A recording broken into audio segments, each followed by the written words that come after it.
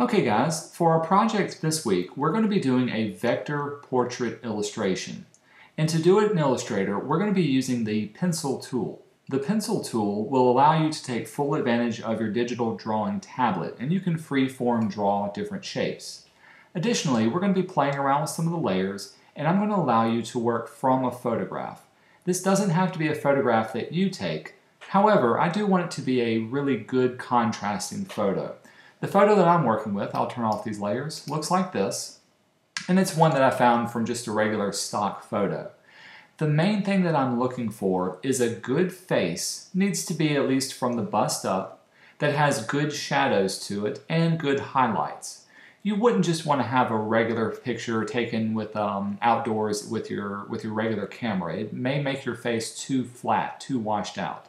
What I'm really looking for is some great details. Details in the hair, details along the skin, details along any clothing that they may be wearing as well. If your face has an expression, all the better. It'll make your illustration pop out a lot more, give it a good dynamic kind of feel. So feel free to look around on the internet and find a good photograph that you can work from.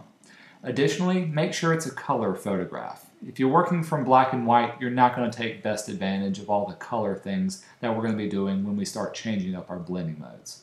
Okay, so let's jump in and get started. Before we get started, let's take a little minute to talk about the tool we'll be working with. The pencil tool, if you haven't found it, is in the upper middle of your toolbox. If you don't see it, it looks like a pencil and it could be hiding underneath your smooth or your eraser tool. With this tool, it takes full advantage of your drawing pad because you can then click and drag like you would a regular pencil or any type of brush. And as you drag it around, it will trace wherever your mouse is moving. So when I let go, I'm left with the line. If, since it is a vector, if I do need to change it up, I can always select the points, select the line, and move it around. Additionally, you can further customize the options for your pencil tool. If I double click, on the pencil, this will bring up our options. Now, the fidelity and the smoothness have to deal with how smooth and uh, true your line is to the, the drawing that you create. In general, the lower these numbers, the more detailed line you can draw. The higher the numbers, the smoother the line you're going to be creating. So really, if you're trying to create kind of a cartoonish type look, you, you may actually want to make your fidelity and smoothness very high. But if you're trying to do a very detailed, almost true to life rendering, you would want to keep these very low. For this project, I'm going to keep these relatively low. This looks pretty good. At the bottom, there are some other options that you can do with your tool, uh, pencil tool. First of all, if I needed to fill in my pencil stroke, notice that when I created these, I had my stroke color selected and I had no fill color. This, will, this means if, whenever I make an object, it won't fill it in if it's not checked off. If I do check it off, now if I have a fill color, let's turn it uh, purple, click and drag, it will fill it in with whatever my fill color is. This is what we do want to have turned on for our project this time. The final two sets, keep selected and edit within certain paths, will allow you to make corrections to the line that you created. To erase this away.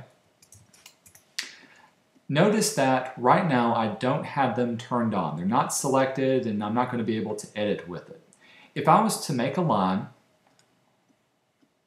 it's not selected, and if I wanted to say continue on with the line, well if I start dragging and drawing again, it's just going to make another line and there will be a little bit of a gap in between the two. However, if I turn on both of these, I do need to keep it selected, I can tell Illustrator to edit the selected path as long as I come within three or however many pixels that I want. So this time with both of those selected, when I click and drag, make a line, it's still selected. So now when I get closer, notice the little X next to my cursor will disappear. And when I click and drag now, it'll add on to the selection that I've made. Now, if I get too far away, it will start making a new line by itself. So that's one thing to consider. For this project, here's how I want you to set up your pencil tool options. We're going to keep the fidelity and smoothness very low. We're going to get a good detailed line. We do want it to be filled in, but we don't want to make any edits or changes to the uh, objects that we draw off. We want to be able to work relatively quickly. So we're going to check the top one and uncheck those bottom two. From here, now I can choose a fill color, not going to worry about a stroke color, and we can start to drag around and make selections from here. The second tool that we're going to use is our eyedropper tool. I'll open up our photograph. The eyedropper will allow us to easily and quickly select color areas that we can work from. Since we want our illustration to match or to closely resemble our photograph, we want to also select those colors. The eyedropper tool, if you don't see it, is down here towards the middle bottom of your toolbox. It's also hiding underneath your measure tool. If I was to click with my eyedropper tool, notice that it picks up and creates a fill color of that particular color. And I can always click and drag around to see exactly what it's doing. If I wanted to even if I have my stroke on front, whatever I pick up, that's what it will create for the fill color. So what we'll be doing is we'll be selecting different color areas and then we'll be drawing off the different shapes from there. The final thing you need to know is the keyboard shortcut for both of these. The keyboard shortcut for the eyedropper tool is the I, easy to remember. The keyboard shortcut for the pencil tool is N. Think of it as pencil. So if I hit I and N on my keyboard, I can quickly and easily swap between the two. Just pay close attention to which tool you have when you're using it, because they tend to look very much the same. That's it for setting up our tools. Now let's jump in and actually start creating the project.